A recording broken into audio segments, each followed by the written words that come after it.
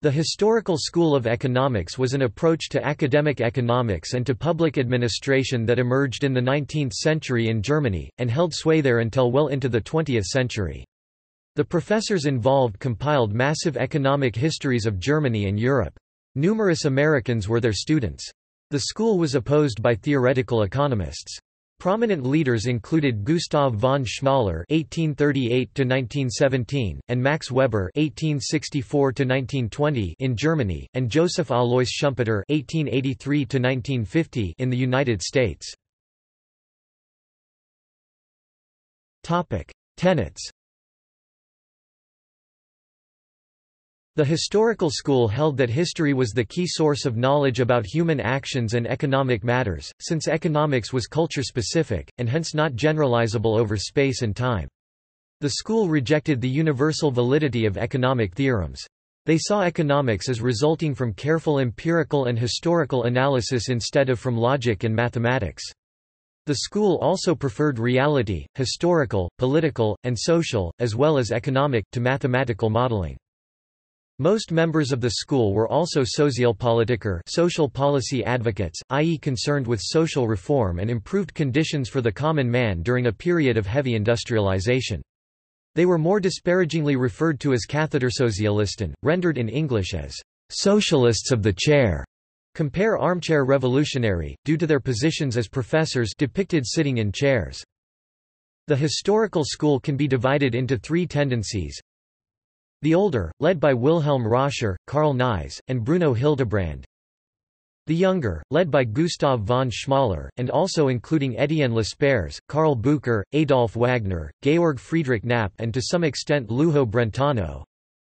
The youngest, led by Werner Sombart and including, to a very large extent, Max Weber, predecessors included Friedrich List. The historical school largely controlled appointments to chairs of economics in German universities, as many of the advisors of Friedrich Althoff, head of the university department in the Prussian Ministry of Education 1882 to 1907, had studied under members of the school.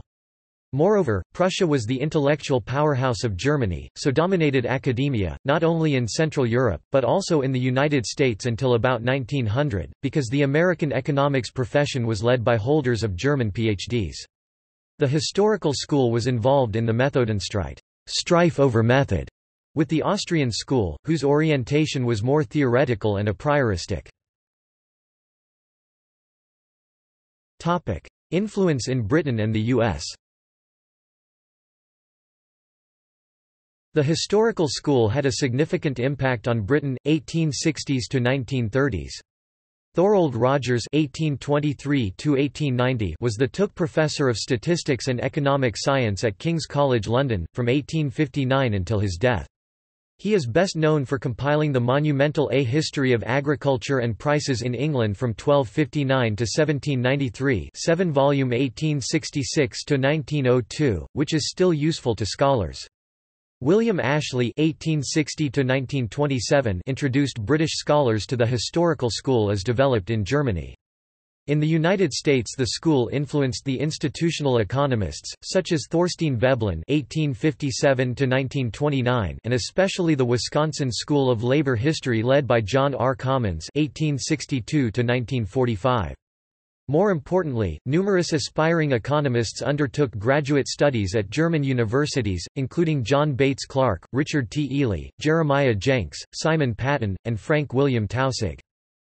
Canadian scholars influenced by the school were led by Harold Innis (1894–1952) at Toronto. His Staples thesis holds that Canada's culture, political history and economy have been decisively influenced by the exploitation and export of a series of staples such as fur, fishing, lumber, wheat, mined metals and coal. The staple thesis dominated economic history in Canada 1930s to 1960s, and is still used by some. After 1930, the historical school declined or disappeared in most economics departments.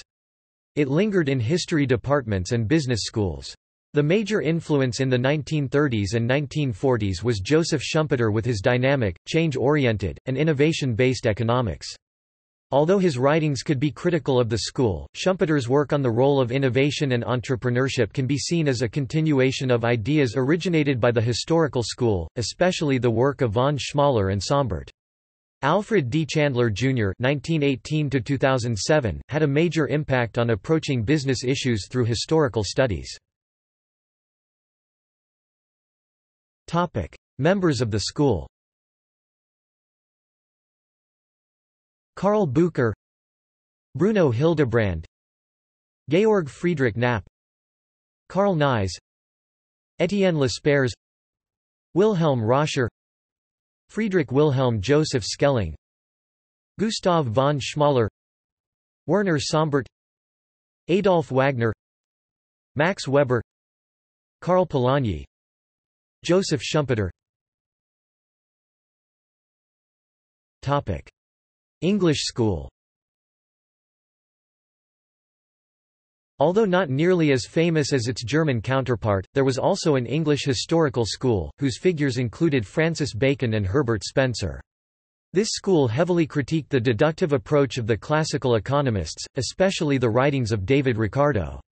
This school revered the inductive process and called for the merging of historical fact with those of the present period. Included in this school are, William Whewell, Richard Jones, Walter Bagehot, Thorold Rogers, Arnold Toynbee, and William Cunningham, to name a few. See also. Freiburg School. Historism. Institutional economics, a related school developed in the United States. German Historical School of Law Productivity Improving Technologies historical. Topic. References. Topic. Further reading. Avtonomov, Vladimir, and Georgy Gloveli, 2015. The Influence of the German Historical School on Economic Theory and Economic Thought in Russia. The German Historical School and European Economic Thought, 185 plus. Bliss, WDP ed., 1898. The Encyclopedia of Social Reform, including Political Economy, Political Science, Sociology and Statistics. pp. 1039 ff. CS1 maint. Extra text. Authors list. Link. Bucher, Karl. 1927. Industrial Evolution. 6th ed. New York, New York. Holt. Backhaus, Jürgen G. 1994, ed. Gustav Schmoller and the Problems of Today. History of Economic Ideas, Vols. I, 1993 thirds, 2, 1994 over 1. Backhaus, Jürgen G. 1997, ed. Essays in Social Security and Taxation. Gustav von Schmoller and Adolf Wagner Reconsidered. Marburg, Metropolis. Backhaus, Jürgen G. 2000, ed. Karl Bucher, Theory, History, Anthropology, Non-Market Economies. Marburg, Metropolis. Balabkins, Nicholas W. 1988. Not by Theory Alone, The Economics of Gustav von Schmoller and Its Legacy to America, Berlin, Duncker and Humblot. Campagnolo, Giles, and Christel Vivel. Before Schumpeter, forerunners of the theory of the entrepreneur in 1900s German political economy, Werner Sombart, Friedrich von Wieser, European Journal of the History of Economic Thought 19.6 2012, 908-43. Chang, Ha Jun 2002. Kicking Away the Ladder. Development Strategy in Historical Perspective. London, Anthem. Dorfman, Joseph. The Role of the German Historical School in American Economic Thought, American Economic Review 1955, 17–28, in JSTOR Grimmer Solem, Eric 2003. The Rise of Historical Economics and Social Reform in Germany, 1864–1894, Oxford University Press. Grimmer Solem, Eric, and Roberto Romani. The Historical School, 1870–1900, A Cross-National Reassessment, History of European Ideas 24.4–5 1998, 267–99. Hawk, A. M. 2012 Methodology of the Social Sciences, Ethics, and Economics in the Newer Historical School, from Max Weber and Rickert to Sombart and Rothacker ed. Peter Koslowski. Springer Science and Business Media. Hodgson, Geoffrey M. 2001. How Economics Forgot History. The Problem of Historical Specificity in Social Science. London, New York, Routledge. Kadish, Alain 2012. Historians, Economists, and Economic History pp. 3–35 Excerpt Koslowski, Peter, ed. 2013. The Theory of Capitalism in the German Economic Tradition, Historism, Ordo-Liberalism, Critical Theory, Solidarism. Springer Science and Business Media. Lindenfeld, David F. 1993. The Myth of the Older Historical School of Economics, Central European History 26 No. 4–405–16.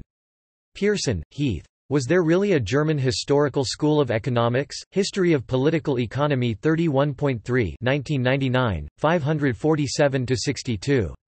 Reinert, Erich 2007. How Rich Countries Got Rich, and Why Poor Countries Stay Poor. New York, Carroll and Graf Publishers. Roscher, Wilhelm. Principles of Political Economy, 2 vols. From the 13th 1877 German edition.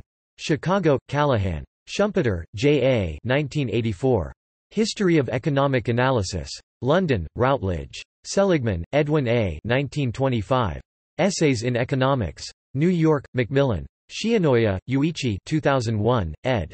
The German Historical School, The Historical and Ethical Approach to Economics, Routledge.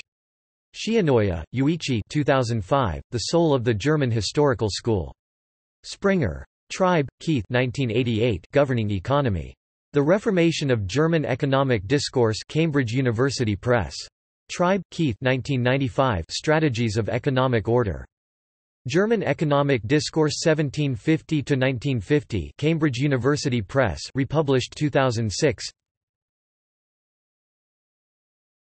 Topic. External links.